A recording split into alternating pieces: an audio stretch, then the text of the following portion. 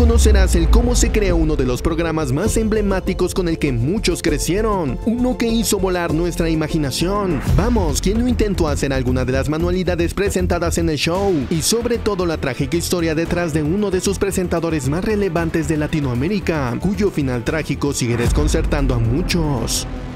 Y esto es Art Attack.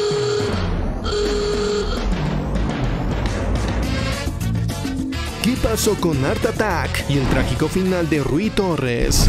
El icónico programa de televisión infantil dedicado a las manualidades y el arte tuvo sus inicios en el Reino Unido. Fue creado por Neil Buchanan, quien también fue el presentador principal del programa. El programa se estrenó el 15 de junio de 1990. Neil Buchanan, un artista y músico, quería crear un espacio donde los niños pudieran explorar su creatividad y aprender técnicas de arte de una manera divertida y accesible. Tras el éxito del programa se expandiría con diferentes conductores, entre ellos Rui Torres, pero eso lo veremos en un momento. Art Attack no solo se centraba en manualidades pequeñas, sino que también incluía Big Art Attacks, donde Neil creaba grandes obras de arte utilizando objetos cotidianos, a menudo en espacios abiertos, sección que después incluiría en las versiones española y latinoamericana. La versión original británica de Art Attack se emitiría en más de 30 países, incluyendo Estados Unidos, Canadá, Australia y varios países europeos. En 1993, Walt Disney Company adquirió los derechos para producir versiones del programa en varios países, que mantuvieron el formato original adaptándola a las culturas y lenguas locales. Cada adaptación local tenía su propio presentador y seguía la estructura establecida por Neil.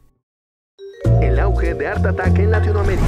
En el año 2000, Art Attack llegó a Latinoamérica, adaptado para una audiencia hispanohablante. La versión latinoamericana fue producida por Disney Channel Latinoamérica y se emitió por primera vez en noviembre de ese año. Esta versión del programa se convirtió rápidamente en un favorito entre los niños de la región. Dicha versión mantuvo la esencia del programa original. Así, Rui Torres guiaba a los niños a través de cada paso, desde dibujos, pinturas y hasta esculturas. Art Attack cubría una amplia gama de actividades creativas Además, el programa incluía la sección del atacazo artístico, donde se incluía Neil Buchanan, haciendo arte a gran escala con objetos cotidianos. Rui, al presentar esta sección, nos invitaba a ubicar algún objeto en específico dentro de la obra. Y obviamente no podíamos olvidar las intervenciones del clásico personaje llamado El Cabezón. En términos de ratings, el programa se posicionó rápidamente como uno de los favoritos en la programación infantil de Disney Channel Latinoamérica, especialmente en México, Argentina y Brasil. Así, en muchos hogares, Attack se convertiría en una actividad familiar, donde padres e hijos trabajaron juntos en proyectos creativos. Dime, ¿cuál fue esa obra que intentaste imitar? Yo en lo particular fue un monstruo de papel solidificado con pegamento blanco y papel higiénico. Ah, ¡Qué recuerdos!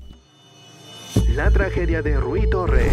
Rui Torres, el conductor de la versión latinoamericana de Art Attack, desempeñó un papel crucial en el éxito del programa. Nacido en México, su verdadero nombre era Rutilio Torres Mantecón. Con un inicio prominente, Torres fue uno de los estudiantes de mayor puntaje en la convocatoria de ingreso de la UNAM en el 2001, elegido entre más de 53 mil aspirantes para estudiar psicología. Aunado a ello, Rui expandió sus horizontes tras ingresar a la ingeniería en telemática en la ITAM, marcando así el comienzo de una carrera llena de éxitos. Tiempo después, Torres sería elegido como conductor para Art Attack, por lo cual se tuvo que mudar a Londres. Desde ahí grababa la versión latinoamericana. Grabaría dos temporadas de ese programa durante los años 2000 y 2002, y créeme, fue un rotundo éxito. Su habilidad para hacer que el arte fuera accesible y divertido ayudó que el programa se convirtiera en un fenómeno en toda Latinoamérica. Y algo de lo que no muchos hablan, pero que a mí sinceramente me parece sobresaliente, fue su voz. Era una voz naturalmente cálida, amigable y daba gusto escucharla, además de que su presencia emitía buena energía. De esta manera, cada episodio estaba lleno de creatividad y enseñanzas, lo que fomentó un entorno educativo positivo para los niños. Sorpresivamente, decidió volver a México en 2003 para continuar con sus estudios académicos en ingeniería en telemática y también para pasar tiempo con su familia. Allí viviría una gran desgracia familiar. Su hija de tan solo 3 años de edad fallecería, esto a principios del 2008 debido a una infección respiratoria. Este devastador golpe provocó una profunda depresión en Rui, una de la que nunca pudo salir. Su salud mental se deterioraría tanto al punto que se presume que él mismo tomaría la decisión más difícil, según indican los rumores, y digo rumores porque nadie salió a dar un comunicado oficial de su deceso, se dice que decidió consumir una sobredosis de medicamentos antidepresivos. La fecha que el obituario marca es la del 24 de febrero, dejando una trágica marca en la historia del programa. Sin embargo, a tantos años de su partida, para muchos el representa momentos invaluables de sus infancias. Vamos, con tan solo dos temporadas, su paso por el programa sería irreemplazable.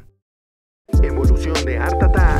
Para continuar con el legado de Art Attack, Disney Channel Latinoamérica decidió seguir produciendo el programa. En este contexto surgieron dos presentadores que asumieron el rol en diferentes momentos y versiones del programa. Jordi Cruz, un presentador español, fue una de las caras más reconocidas de Art Attack en España. Jordi Cruz presentó el programa desde finales de los 90 hasta 2004. Es importante destacar que la versión de Art Attack presentada por Cruz en España también se doblaría para el público latinoamericano, lo que pudo haber causado cierta confusión entre los espectadores sobre su participación. En la versión específicamente producida para Latinoamérica tras la partida de Rui Torres, el actor y presentador argentino Emiliano Pandelo asumió el rol de presentador en el 2008. Pandelo aportaría su propia energía y estilo al programa, continuando con la tradición de enseñar arte y manualidades de manera accesible. Durante los años siguientes, Art Attack siguió siendo un programa popular en la programación infantil de Disney Channel Latinoamérica. Además, también se adaptarían a las nuevas plataformas digitales.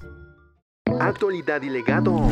Por si te preguntabas qué fue de Neil Buchanan, terminó su siglo en el programa en el 2007, se alejaría de la televisión y continuaría su carrera como músico de su banda de heavy metal. Actualmente el artista tiene 66 años de edad y es muy recordado por el público anglosajón que creció con su versión del programa. En la actualidad, Art Attack sigue vigente en Latinoamérica, con una nueva versión titulada Art Attack Modo Desafío, lanzada en el 2023, con varios influencers participando en el programa, continuando con el legado de este emblemático programa. Art Attack no solo fue un programa de televisión, para muchos de nosotros es un portal a una época de inocencia y descubrimiento. Recuerdo encender la televisión y sentir la emoción de ver a Rui Torres transformando objetos cotidianos en piezas de arte increíbles. Así se despertaba esa necesidad de querer hacer nuestro propio arte, una época donde la creatividad aún se plasmaba con nuestras manos, y aunque no había redes sociales donde pudiéramos subir nuestras obras, bastaba con que nuestros padres o algún amigo que visitara nuestro hogar viera lo que hicimos. Art Attack representa muchas cosas, y el escuchar a Rui Torres una última vez siempre nos regresará a esas épocas nostálgicas de nuestras vidas. Y ya se nos acabó el tiempo. Nos vemos el próximo programa con más Art Attacks.